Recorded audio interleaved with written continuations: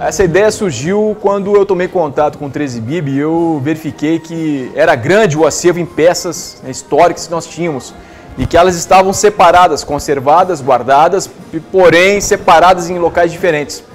O que dificultava muito, por exemplo, uma visita guiada como está acontecendo aqui. O acervo próprio do 13 Bib tem mais ou menos 250 peças. E a gente vem recebendo dia a dia aí é, contribuições né, de pessoas que ou serviram aqui ou tem familiares que serviram aqui. Aqui nessa primeira pilastra nós temos alguns itens aqui da Guerra do Paraguai. Né? Nós temos essa baioneta paraguaia da Batalha do Tuiuti, que é a, batalha, a maior batalha campal de toda a América do Sul. E ali, o mais raro.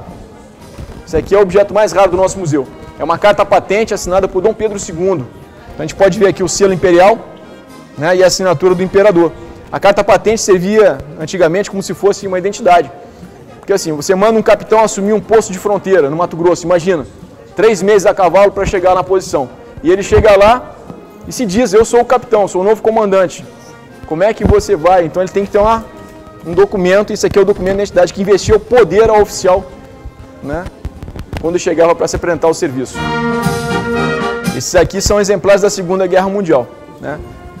O, a viatura Minha Lagata, que, tá, se encontra ao fundo ali, é um exemplar que foi a primeira é, resposta dos americanos né, à Guerra Relâmpago Alemã, Blitzkrieg.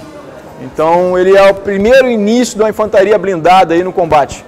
E o Brasil usou cinco deles na Segunda Guerra Mundial, depois recebeu mais duzentos e tantos. Um deles está aqui e é o segundo do Brasil que ainda funciona. Dois rodandos, um é nosso. Está aqui em Ponta Grossa. Ali ao fundo nós temos uma metralhadora muito rara, da Segunda Guerra Mundial, uma metralhadora alemã, raríssima, pouca gente tem, poucos museus têm. É uma MG-42.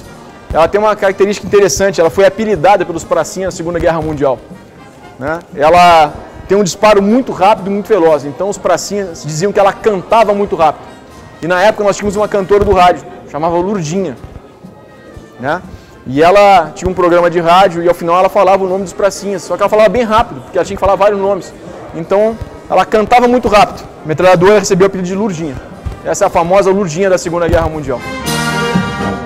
Nosso objetivo é triplicar ou mais a quantidade de visitantes e mostrar que o Brasil tem condições de ser um país envolvido. Nós temos pessoas de valor. Isso é um exemplo de pessoas de valor que lutaram pela pátria e que dedicaram aí a sua vida em prol de uma causa nobre, né? não uma causa que não leva a lugar nenhum.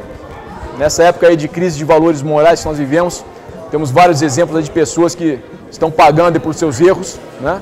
que não contribuíram em nada com a pátria brasileira. Então aqui nós temos exemplos de pessoas que deram a sua vida em prol de um juramento aí de amor à pátria.